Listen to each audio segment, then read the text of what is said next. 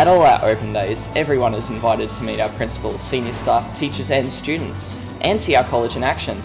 Open days are a wonderful opportunity for prospective parents to come and see what life is like here at BCC.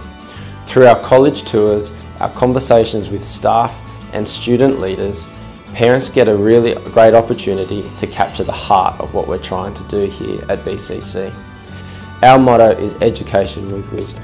It is important to be wise in life, to make good choices, to develop the whole child and to really look at engaging with the content and the delivery of education programs to create people who are inspired through their learning and through the opportunities that we can provide here at Bundaberg Christian College.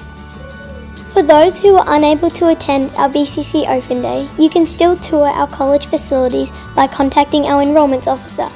And you will find more information on our next BCC Open Day by visiting www.bcc.net.au or follow us on Facebook.